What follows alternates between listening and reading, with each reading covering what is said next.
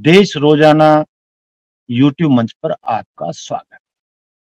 दोस्तों, आज जो मेरी वीडियो का मुद्दा है या मेरी स्टोरी का मुद्दा है, या हमारा मुद्दा है, देश रोज़ाना का मुद्दा है, वो बेशक आपको छोटा लगे, लेकिन छोटा है नहीं। दोस्तों, ये मुद्दा है आवारा, पशुओं का,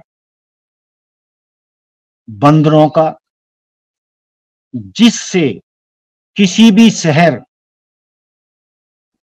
चाहे दिल्ली हो, चाहे एनसीआर हो, चाहे हरियाणा हो, या पूरा देश हो, या पहाड़ी राज्य हो, आप कहीं भी चले जाइए, बंदरों का सब जगह आतंक है और मैदानी क्षेत्रों में आवारा पशुओं से। न केवल किसान परेशान है, बल्कि उनके सड़कों पर कहीं भी बैठ जाने या आपस में सड़क पर लड़ने से एक्सीडेंट होते हैं।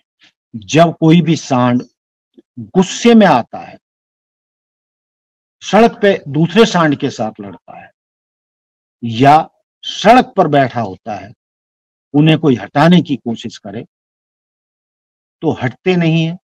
और कई बार तो ऐसा हुआ है कि इन सांडों ने कितने ही नागरिकों को पटक कर ऐसा मारा है ज़ोर से कि वो मृत्यु लोक को सिधार गए।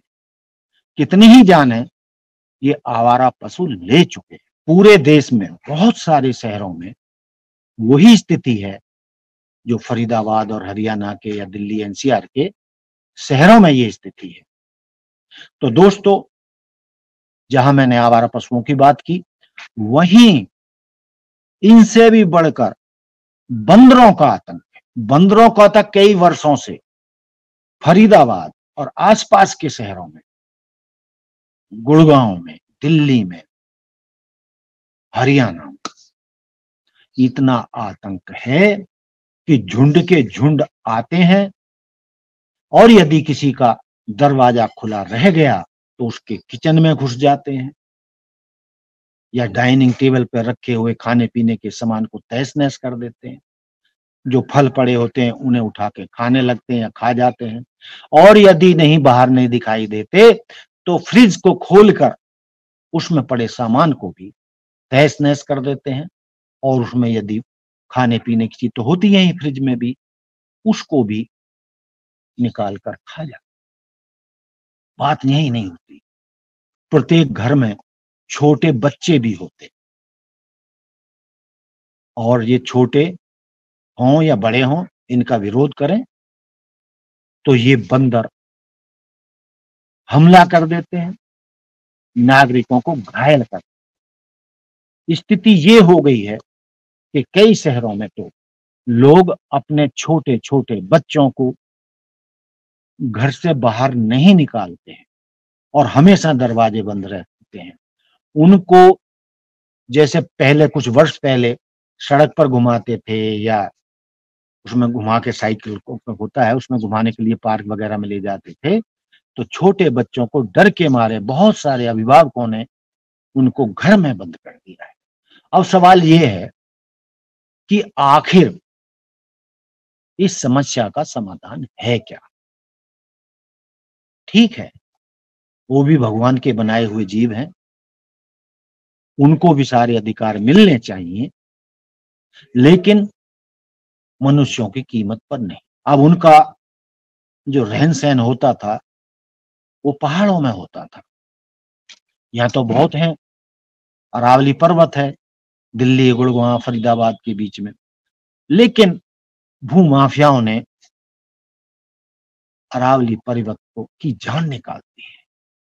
इतने घने जंगल होते थे, जहाँ पर ये बंदर या भालू जो भी जितने भी जंगली हो हैं, इसी गुड़गांव, फरीदाबाद, दिल्ली के बीच में से गुजरने वाली अरावली पर्वत श्रृंखला पर ये बसते थे और ये बंदर वगैरह सब वहीं होते थे। लेकिन जब से अरावली पर्वत के जंगलों को काटा गया है। सारे जानवर बंदर वहाँ से निकलकर बस्तियों में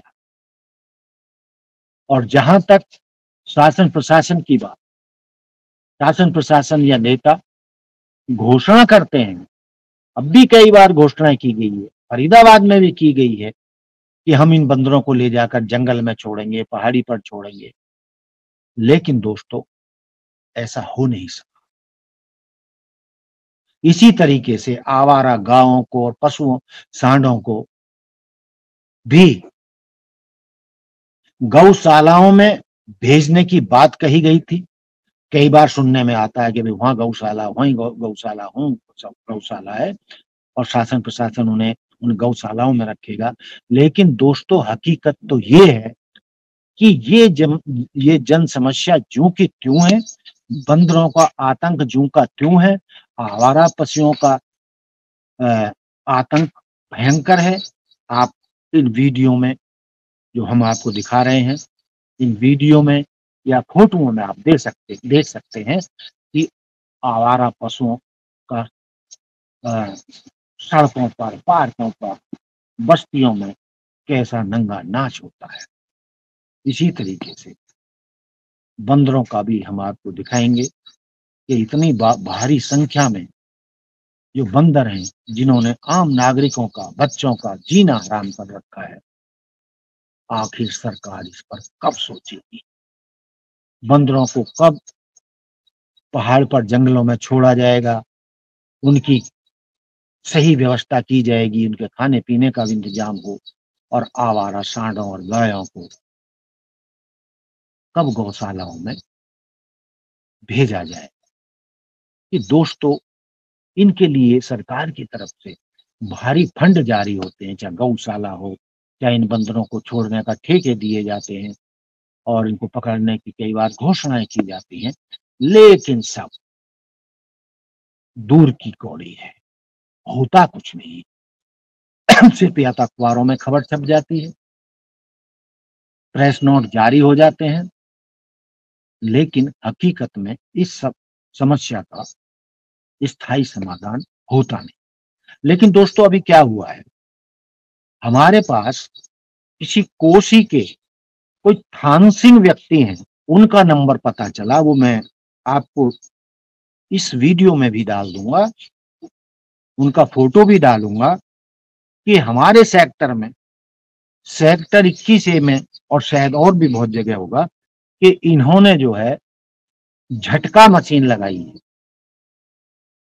वो वायर, तारों की वायरिंग करते हैं और इस वायरिंग में हल्का सा हल्का सा करंट होता है जो माइनर सा झटका देते हैं, उससे किसी की जान नहीं जाती है और जब उनको एक बार झटका बंदरों को लगे और ऐसा किसानों के लिए भी होता है कि वो आवारा सांडों को, पशुओं को, गायों को, से अपनी फ़सल को बचाने के लिए ये झटका मशीन लगवाते हैं चारों तरफ़ बाढ़, इन तारों की लगवा देते हैं तो जिससे उनकी फ़सल बच जाती है। तो मैं आपको ये व्यवस्था भी दिखाना चाहूँगा इस व्यक्ति का फ़ोटो और नंबर भी भेजूँगा। यदि आप इसकी बंदरों के आतंक से बचने के लिए या पशुओं के आतंक से बचने के लिए इसकी सेवाएँ लेना चाहें तो ले सकते हैं। तो दोस्तों, मैं जो आपको दिखाना चाह रहा था, वो व्यवस्था ये है। जो लोगों ने अपने घरों में लगवा रखी है, ये देखिए ये जो तार हैं, ये चारों तरफ़ बाउंड्री के ऊपर लगा दी गई है, चारों तरफ़ हैं। ये देख रहे हैं आप, अब इनसे कूदकर बंदर नहीं आ सकते। यदि इन तारों को छुएगा बंदर या चोर भी, उसको भी झटका लगेगा। आप ये ये भी देख सकते हैं। ये आपको शायद दिखाई दे रहा होगा। तो ये व्यवस्था है, ये ऊपर तक की गई है। इस मकान में ये व्यवस्था की गई है नीचे से लेकर ऊपर तक। और इस तरीके से तारबंदी की गई है कि अब बंदरों के यहाँ इस घर में, इस मकान में घुसने की कोई गुंजाइश नहीं है। और जब से ये व्यवस्था की गई है, बंदरों के आतंक से सचमुच में बहुत लोगों को मुक्ति मिली है। लेकिन चलो, ये तो ऐसा नहीं है कि निजी तौर पर हर व्यक्ति खर्चा करे, अब जिनको बहुत परेशानी है, वो लोग मजबूरी में ऐसा कर रहे हैं।